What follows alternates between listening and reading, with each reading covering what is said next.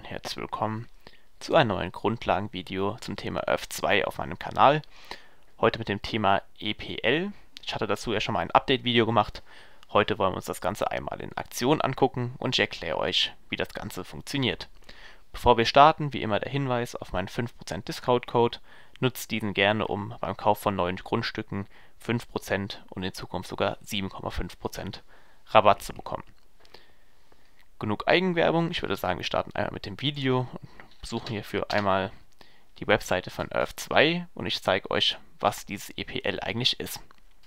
Kurz gesagt, EPL steht für Earth 2 Property Locator und dient als einzigartiger Identifizierungspunkt quasi, um Grundstücke aufzurufen, sprich in der URL, das ein Grundstück oder über die URL ein Grundstück besuchen zu können. Wir können uns das Ganze einmal hier anschauen. Ich habe hier in meinem Profil beispielsweise, oben wie ihr hier seht, einen eigenen, ein eigenes Grundstück mit meinem Profilnamen SCAFX RTX.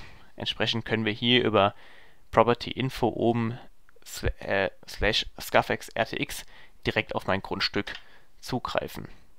Das Ganze funktioniert logischerweise auch mit anderen. Beispielsweise, wenn wir jetzt hier Frankfurt eingeben, bin ich mir ziemlich sicher, irgendjemand hat das Ganze schon. Ja, und dann werden wir hier auf keine Ahnung, wo das sein soll, äh, hingewiesen äh, oder verweist.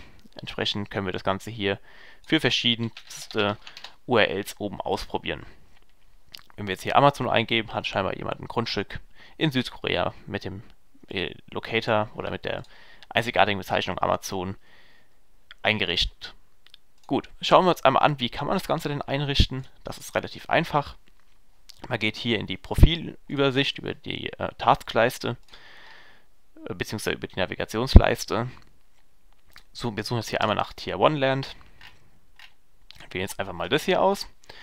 Und da sehen wir hier relativ schnell, dass dieses EPL-Fenster die gleiche URL ist oder die, der gleiche Identifier wie hier oben in der URL. Ich möchte das Ganze jetzt upgraden. Klicke hier einfach auf Upgrade EPL und verwende jetzt den Namen, keine Ahnung, Amazon, wie jetzt beispielsweise jemand schon benutzt hatte. Ist jetzt nur als Beispiel und habe dann hier die Chance, entweder, ähm, wenn ich genug auf 2 Dollar hätte, das Ganze zu kaufen oder mit 100 Essence, die also mit der Währung Essence zu bezahlen. Ich sage, okay, weil ich jetzt kein Geld habe, benutze ich jetzt einmal hier diese Essence. Klicke jetzt hier einmal drauf und sehe, dass wir mindestens 7 ähm, Längenpunkte brauchen. Deswegen nehmen wir jetzt einfach nur Frankfurt. Das ist ja ein bisschen länger hier.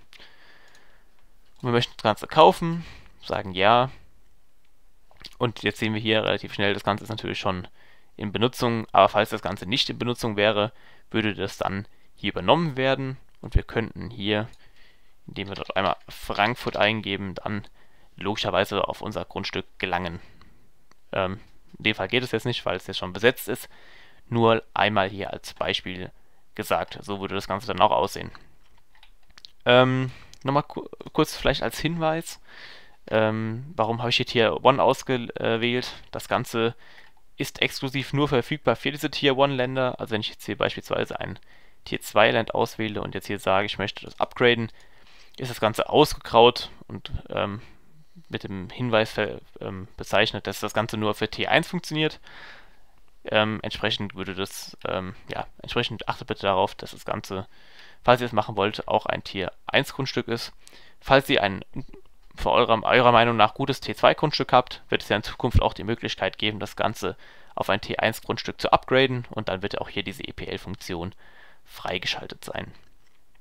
Ich hoffe, das Video hat euch gefallen und war hilfreich.